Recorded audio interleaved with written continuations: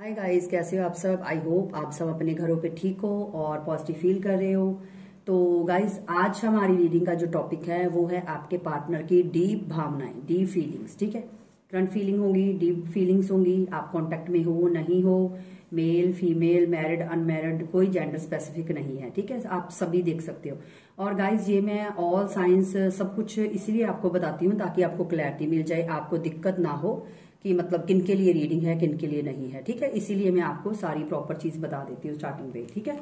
तो चलिए, आप अपने पार्टनर का ध्यान कीजिए, देखते हैं। और मैं आपकी फीलिंग्स भी देखूँगी, ठीक है? कि आपकी फीलिंग्स क्या है, लेकिन वो हम बाद में देखेंगे। पहले मैं आपकी फीलिंग्स सॉरी आपके पार्टनर की फीलिंग्स पे ज़्यादा फोकस करूँगी, ठीक है? ओके पहला कार आया कन्फ्लिक्ट दूसरा आया सोल कॉन्टैक्ट एक मिनट गाइस मैं कहा ना शफल कर लूँ क्योंकि सेम सेम कार्ड आ रहे हैं, मुझे ये मैं आपको अच्छे से बताना है, तब तक अब आप अपने पार्टनर का नाम लीजिए और ध्यान कीजिए second chance time for action hidden release your past.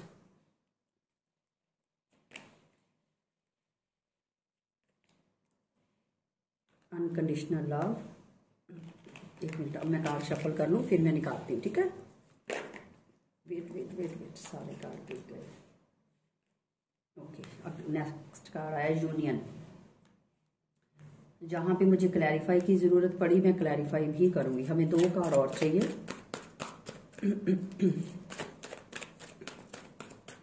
और मैं एक चीज़ के लिए थैंक यू बोलती हूँ कि जिन लोगों ने मुझे रेमेडी बताई आ, मेरे गले के लिए उनके लिए thank you so much major changes और एक और लेते हैं. एक तो ये कार ना बहुत हैवी है बहुत ज़्यादा इसका डेक बहुत बड़ा है और ये बहुत हैवी है. एक्सपेक्ट मेरिकल ठीक है? तो चलिए. ये ऑल साइंस के लिए रीडिंग है ठीक है? मैं आपको पहले ही बता चुकी हूँ कि आप सभी देख सकते हो. कोई जेंडर स्पेसिफिक नहीं है और कोई साइंस स्पेसिफिक नहीं है। चलिए।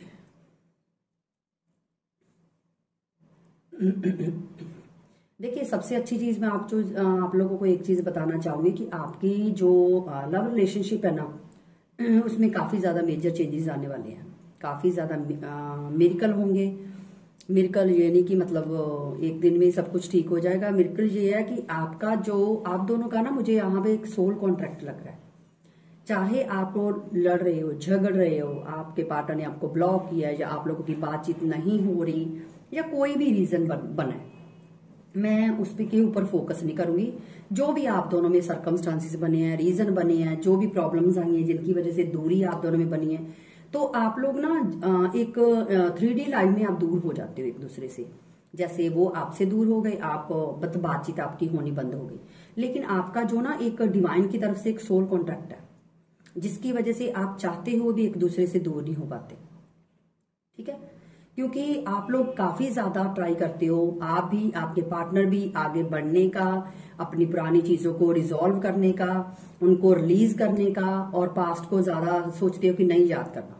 भूल जाना है। मुझे इस इस इंसान के साथ नहीं रहना। कभी कभी आप भी सोचते हो कि मुझे ऐसे पर्सन के साथ नहीं रहना, जिसको मेरी वैल्यू नहीं, जिसको मेरे प्यार की वैल्यू नहीं, जिसको मेरी रिश्ते की वैल्यू नहीं।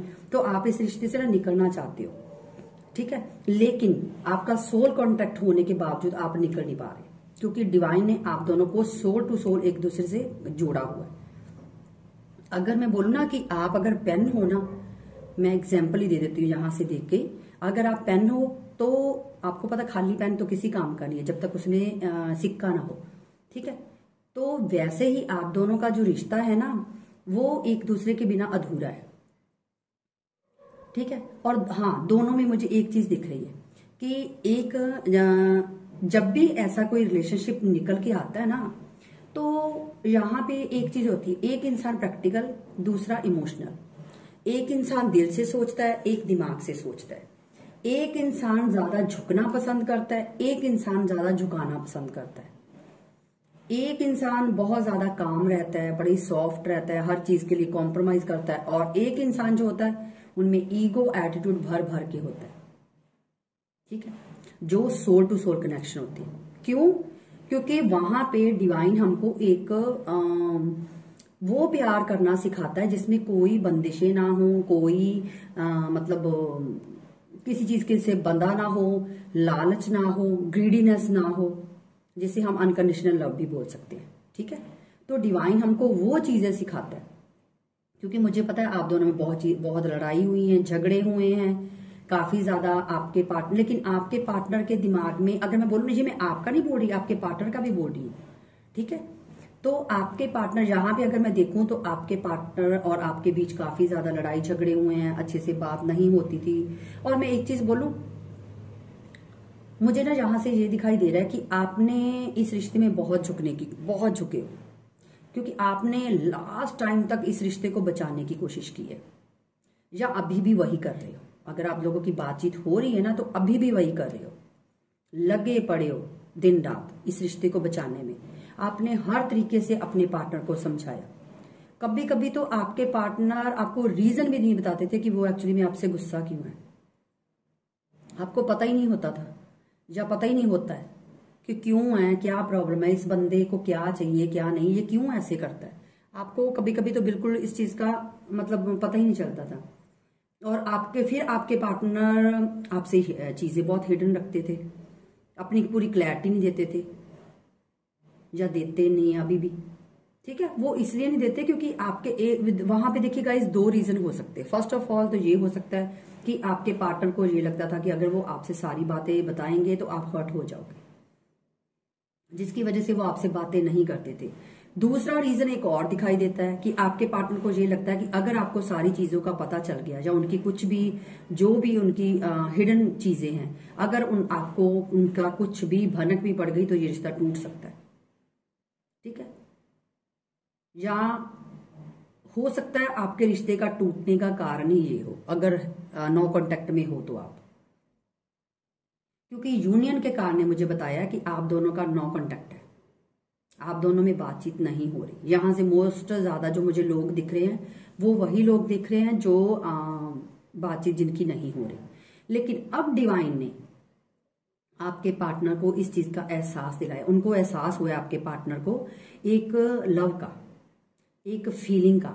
उनको एक, आपकी तरफ़ एक देखिए, आपके पार्टनर को ना इस चीज़ का रियलाइजेशन मुझे लग रहा है कि उनको ये लगता है कि इस बंदा या बंदी ने मेरे से बिना किसी लालच के प्यार किया। इसने कभी मुझसे कुछ मांगा नहीं, इसने कभी मुझसे कुछ डिमांड्स नहीं की, कभी इसने मुझे ये नहीं बोला, मुझे ये चाहिए, हमेशा मेरी हेल्प की है। ठीक है?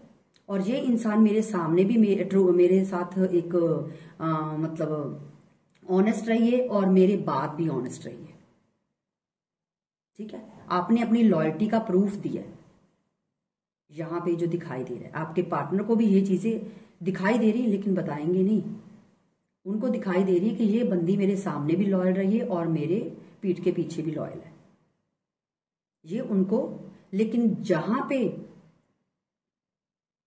लोग ऐसे नहीं हैं, चाहे आपके पार्टनर चाहे आप। देखिए, मैं ये नहीं बोलूँगी कि आपके पार्टनर को गलत बोलूँगी, आप आप में से भी कई लोग ऐसे हो सकते हैं, जो एक इंसान के साथ रहते हुए किसी और से भी बातचीत कर रहे हो, क्योंकि मुझे वाइब्स आ रही है कि कई मेरे व्यूवर्स ऐसे हैं।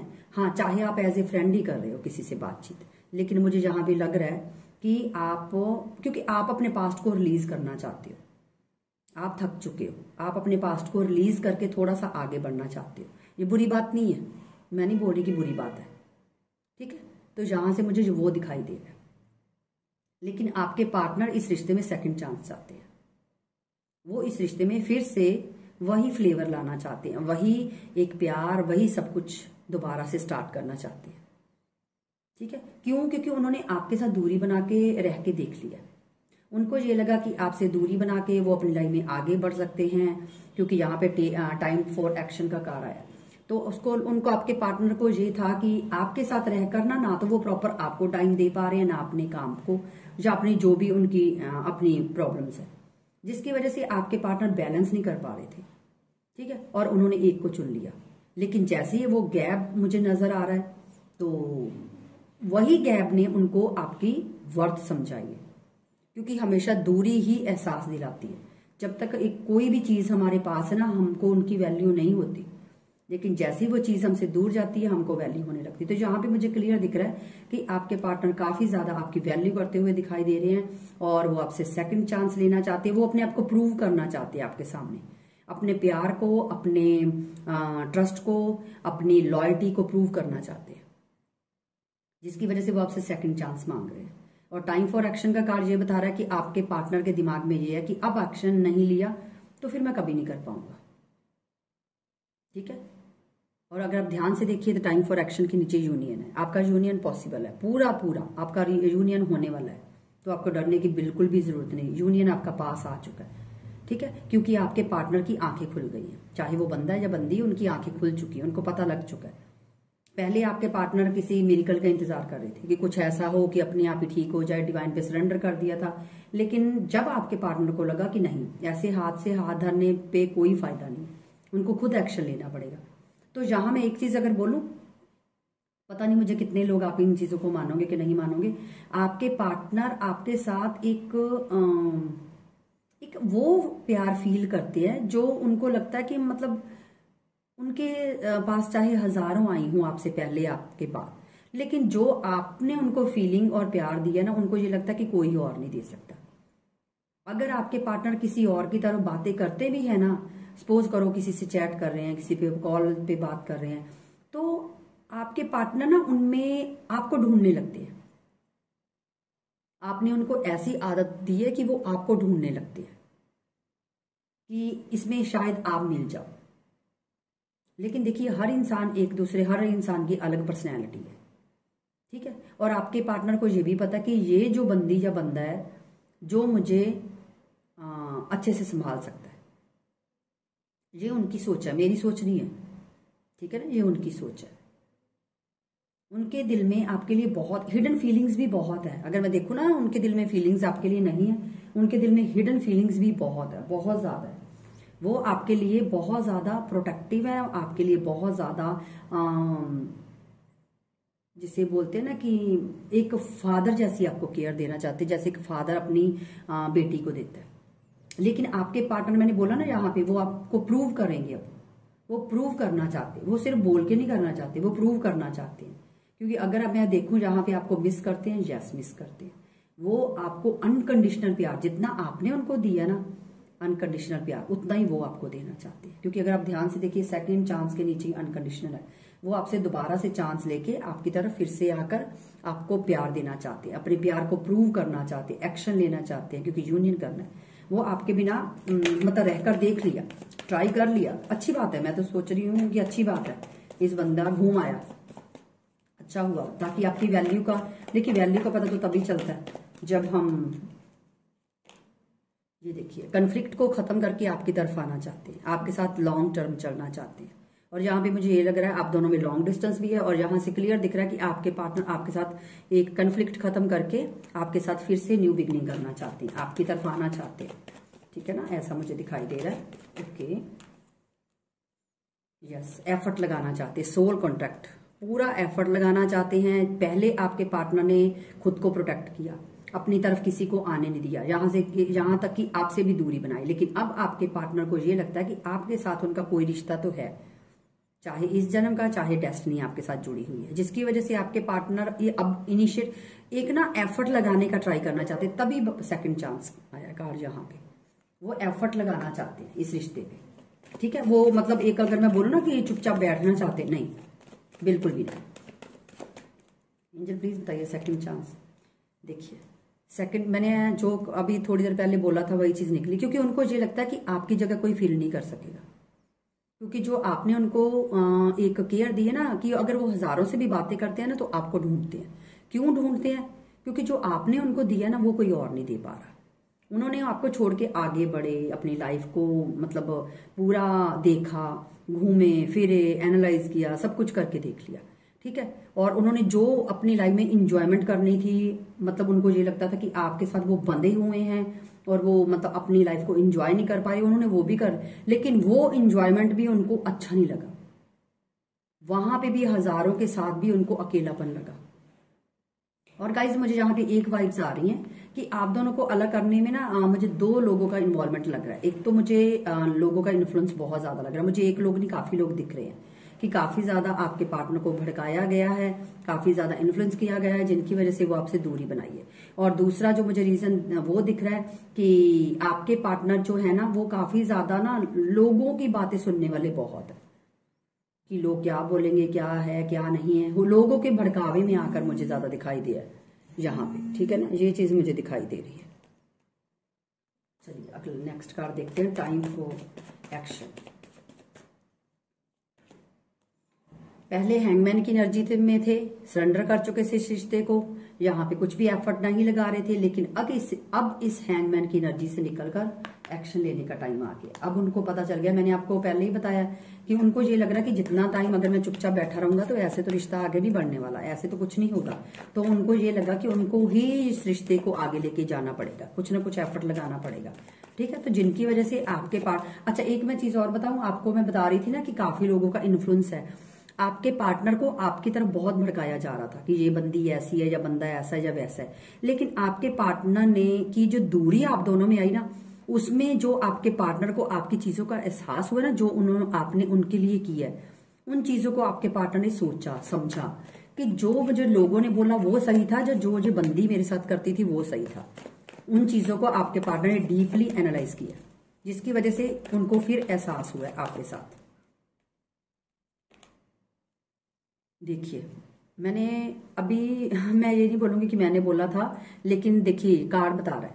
उन्होंने बहुत सोचा था कि आपके बिना वो बहुत अच्छे से, आराम से रहेंगे, घूमेंगे, फिरेंगे, अपनी लाइफ को एंजॉय करेंगे, पैसा वैसा कमाएँगे, सब कुछ करेंगे। लेकिन जैसे ही आपसे दूरी बनी, उनका ये हाल हो गया। उनको एंजाइटी अटैक हुए, अकेलापन, एक खालीपन, एक लोनलीनेस एक अधूरापन लग रहा था आपके पार्टनर को। ठीक है? जिनकी वजह से आपके पार्टनर ने इस रिश्ते को फिर से वर्क करने का सोचा। इंजल प्लीज़ बताइए हिडन फीलिंग क्या है? हिडन फीलिंग आपके साथ नई शुरुआत। आपके साथ फिर से नई शुरुआत करने का सोचना चाहते हैं। और एक बात बोलूँ, कुछ ऐसी बातें भी होंगी जो आपके पार्टनर आपको बताएँगे। कुछ ना कुछ ऐसी बातें ज़रूर होगी हिडन क्योंकि आपके पार्टनर सच्चाई की नींव पे अपना रिश्ता रखना चाहते हैं तो कुछ बातें हो सकता है आपके पार्टनर आपको बताएँगे अपनी लाइफ की। ठीक है? रिलीज़ हुआ पास्ट क्यों है मैरिज वो आपके साथ मैरिज का सोच रहे हैं। उनके थॉट्स और यहाँ पे मुझे दो चीज़ें दिखाई दे रही हैं। मैंने बोला ना कि आप दोनों के रिश्ते में अभी मुझे लग रहा था, मैंने एक चीज़ शायद बता के गई हूँ, मैं दूसरी यहाँ पे मुझे दो चीज़ों का इन्वॉल्वमेंट लग रहा था। एक तो फैमिली का, अब मुझे याद आया, मैं वो बीच में बताना भूल गई। एक तो फैमिली का इन्वॉल्वमेंट मुझे लग रहा था, दूसरा उनके जो फ्रेंड सर्कल का।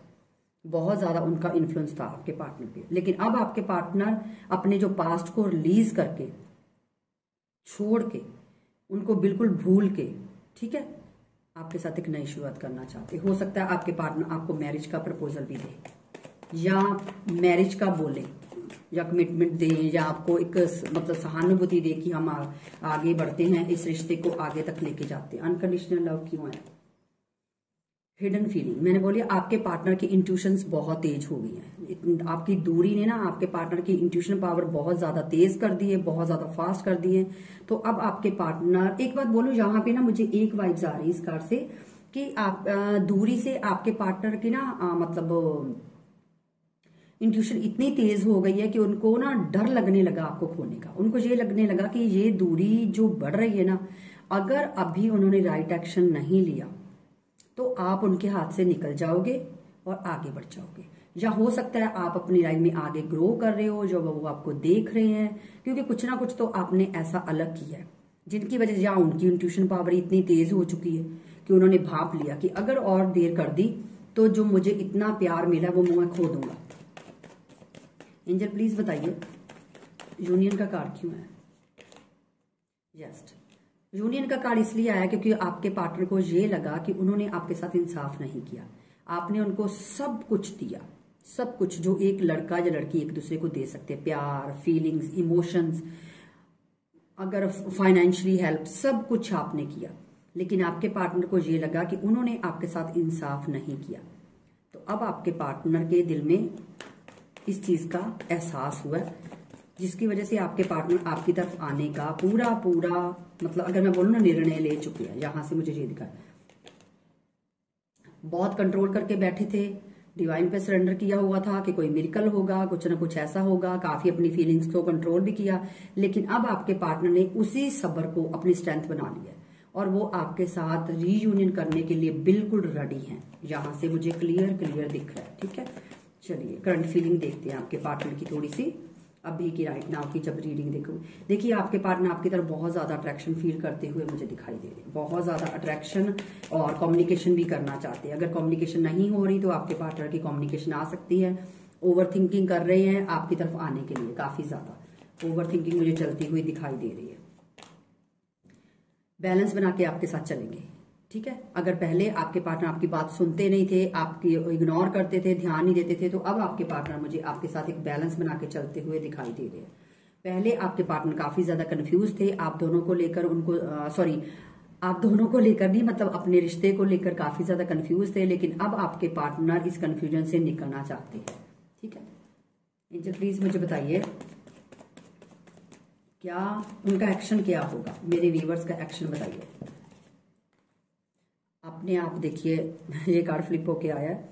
आपके पार्टनर ने आपके साथ जो टावर मूवमेंट था ना, उसको खत्म करके एक नई शुरुआत आपके साथ करना चाहते हैं। यहाँ से क्लियर दिख रहा है। Ace of wands new beginning आपके साथ न्यू बिगनिंग करना चाहते हैं। ठीक है? एंजल प्लीज़ मुझे बताइए, मेरे जो व्यूवर्स हैं, उनके लिए गाइडेंस क्या है? देखिए, अगर आपके पार्टनर आपकी तरफ़ आए तो आपने ज़्यादा गुस्सा या अग्रेसिव नहीं होना। बिल्कुल भी। कि पहले मुझे छोड़ के गए, अब आप आ गए हो। और एक बात बोलूँ, यहाँ पे मुझे ये भी लग रहा है कि मुझे कई लोगों के पास ऑप्शंस भी लग रहे हैं। आप लोगों के पास, मेरे वीवर्स कि आपके पास ऑप्शंस हैं जिनके ऊपर आप काफ़ी ज़्यादा फोकस कर रहे हैं। ये मुझे कल परसों भी मैंने रीडिंग की थी, वहाँ से भी मुझे निकला था कि आप ना न्यू पर्सन की एंट्री या तो आपकी लाइफ में हो रही है या आपके पास ऑफर्स हैं। गाइडेंस देखते हैं कि गाइडेंस क्या है। देखिए, आपको पॉजिटिव रहना है, ठीक है? आपको बिल्कुल भी नेगेटिव नहीं होना, आपने पॉजिटिव रहना है। यहाँ पे आया रिमेन पॉजिटिव ठीक है? और दूसरा कार्ड लेते हैं। दी सिचुएशन विल इम्प्रूव आपकी सिचुएशन जो भी है, वो इम्प्रूव होने वाली है। आपकी जो भी प्रॉब्लम्स चल रही थी, जो भी, और यहाँ पे बॉटम ऑफ़ द डेक है नो नीड टू वरी आपको बिल्कुल भी टेंशन लेने की ज़रूरत नहीं है, क्योंकि आपकी जितनी भी प्रॉब्लम्स है, वो ठीक होने वाली है। तो गाइज़ ये थी एक रीडिंग अगर आपको अच्छी लगी है तो आप मुझे कमेंट बॉक्स में ज़रूर बताइएगा. आपको किस टॉपिक पे रीडिंग ज़्यादा देखनी है, वो भी मुझे बताइएगा. वैसे तो ज़्यादा मैं करंटली फीलिंग पे बनाने लगी हूँ, क्योंकि मुझे पता है आप लोगों को जानना बहुत ज़रूरी होता है, काफ़ी ज़्यादा. सब लोगों का यही मतलब मेन होता है कि हमारे पार्टनर की करंट फीलिंग क्या है, जिसके ऊपर मैं ज़्यादा फोकस करती हूँ. फिर भी आपके पास कोई और टॉपिक्स है जिसपे आप देखना चाहते हो तो आप मुझे बता सकते हो, ठीक है? और वीडियो को ज़्यादा से ज़्यादा लाइक कीजिए कमेंट कीजिए शेयर कीजिए. मिलते हैं नेक्स्ट में. तब तक के लिए बाय